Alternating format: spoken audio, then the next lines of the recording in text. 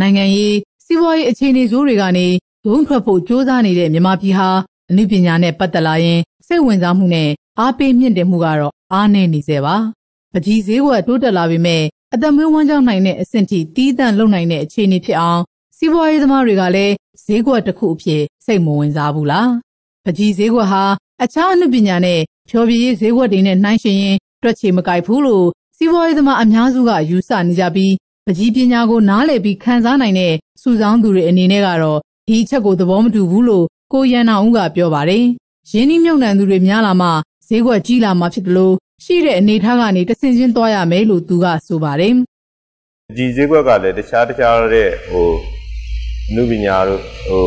ဂီတတို့စီးပွားရေးတို့အဲ့လိုပေါ့ဟိုလူတွေကဗမာပြည်အတိုင်းနဲ့ဆိုအားမလို့အားမရတွေဖြစ်တယ်နောက်တစ်ခုက ဗမာဈေးကွက်မမီပါဘူးလို့အဲ့လိုဖြစ်တယ်မှန်မှန်ဒီလိုသူများရောက်နေတဲ့အနေထားကြီးကြည့်ကျွန်တော်တို့စိတ်သက်စိတ်ပြက်အားလျော်တွေလို့မဖြစ်ဘူးအဲကျွန်တော်တို့ဒီဈေးကွက်လေးကိုပြောမယ်ဆိုလဲအခုရောက်တဲ့အနေထားကနေအစင်ချင်းတစ်စင်ချင်းလှေကတိလို့ပေါ့ကောင်းထက်ကောင်းလာအောင်လုပ်ပါပါပဲ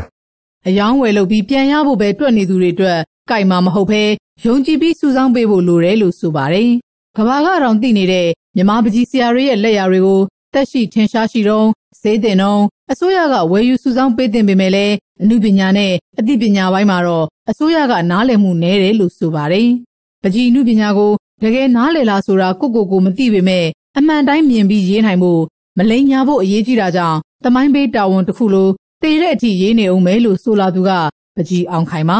တက္ကသိုလ်ကျောင်းသားဘဝကစပြီးအနှစ်90လောက်ပကြီးပဲဆွဲလာတဲ့သူဟာကားတွေရောင်းရတဲ့အခါရေးအားပိုကောင်းလာတဲ့သဘောရှိပါတယ်လို့ပြောပါတယ်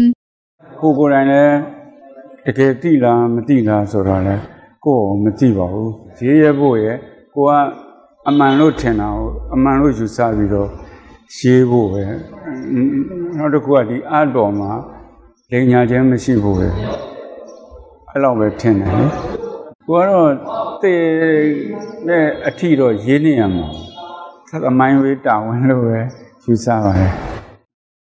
ပကြီးကိုငယ်စဉ်ကလေးကဝါသနာပါလို့အချိန်တိုင်းဆွဲနေပြီးအခုလဲရေဆေးပကြီးလေ့ကျင့်နေတဲ့မတ်ဆန္နာဝင်းကဝါသနာရှင်တယောက်အဖြစ်ဒီလောကမှာရက်တည်ဖို့ကတော့ခက်ပါတယ်လို့ဆိုပါတယ်အချိန်အများကြီးရင်းရမှာတည်နေပြီးနဲမှာအခွင့်အလန်းနဲ့လို့ရန်ကုန်တက်လာပြီးအလုတ်တစ်ဖက်နဲ့ပကြီးလေ့လာရလို့အချိန်မရပဲပင်ပန်းလှပါတယ်လို့ဆိုပါတယ်